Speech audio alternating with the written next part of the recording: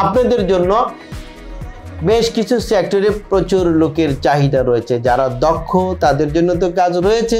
যারা অদক্ষ তারাও কাজ করতে পারবেন। তাহলে যারা দক্ষ, তাদের জন্য রয়েছে কনস্ট্রাকশন সেক্টরে mason tiles mason bricklayer carpenter shuttering carpenter steel fixer rod binder plumber welder electrician এবং পেইন্টার হিসেবে কাজকর্ম করতে পারবেন।